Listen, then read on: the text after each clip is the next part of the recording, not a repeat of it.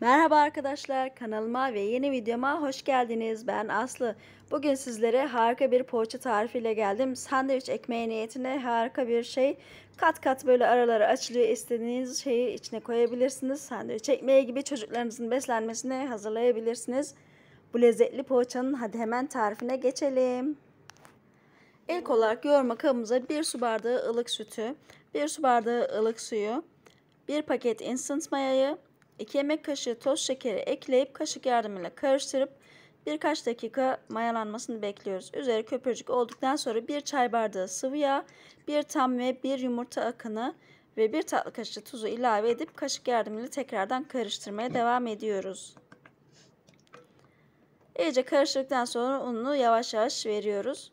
Kontrolle eklemekte fayda var. Ben ilk olarak 4 bardak ekleyip kaşıkla karıştırmaya devam ettim. Şimdi 5. bardağı ekliyorum. Kaşıkla karıştırmaya devam ediyorum. Kıvamına göre un ekliyorum. Ele yapışan bir hamur olacak. Eli bırakmayacak. Buna dikkat edelim. Şimdi kapağını kapatıyorum ve mayalanmaya bırakıyorum. İki katına geldikten sonra hamurun mayasını alıyorum. Elimle bastırarak ve zemine alıyorum. Burada da düzelttikten sonra 13-14 parçaya bölüyorum. Her bir parçayı beze haline getirip kenara alıyorum.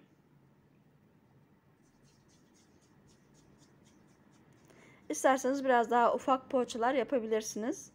Bu poğaçaları çocuklarınızın beslenme çantasında gönül rahatlığıyla koyabilirsiniz. Çok güzel ve sağlıklı bir besin. Evet bir tane bezemi aldım. Parmaklarımla açıyorum. Aslında merdane ile denedim ama merdaneli e, bu kadar güzel olmadı. İsterseniz merdane ile de açabilirsiniz. Parmak uçlarınızda da rahatlıkla açılabilen bir hamur.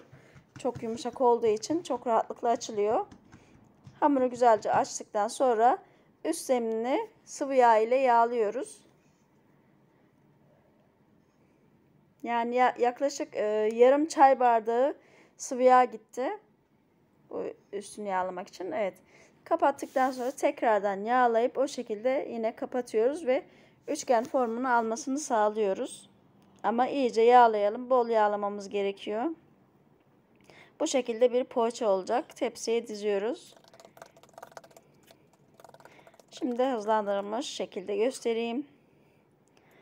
Önce üst zemine iyice yağlıyoruz. Yağladıktan sonra katlayıp tekrardan bir yağlayıp tekrar katlıyoruz, kaldırıyoruz. Yapması da çok eğlenceli, çok da basit bir poğaça.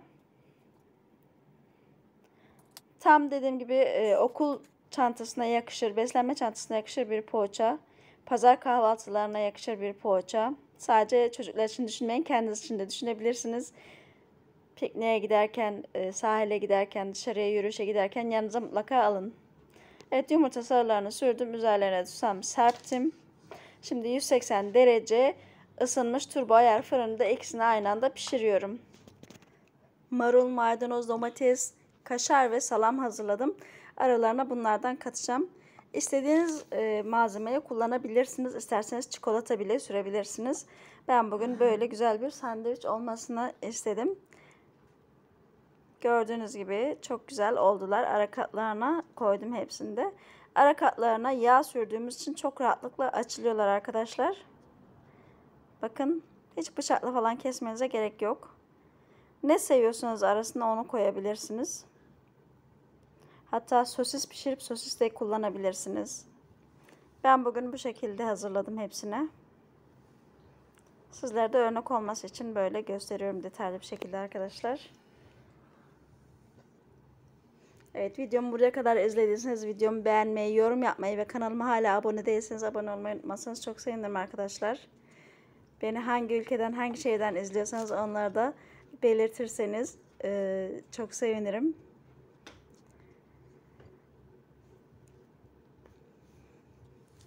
Yorumlara bir nokta, bir virgül, e, bir emoji bırakırsanız beni yine mutlu edersiniz.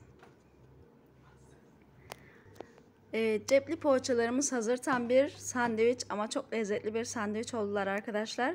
Şimdiden yapanların ellerine sağlık, yiyenlere afiyet şifa olsun diliyorum. Bir sonraki videoda görüşmek üzere. Hoşçakalın. Allah'a emanet olun. Beni takip etmeyi unutmayın.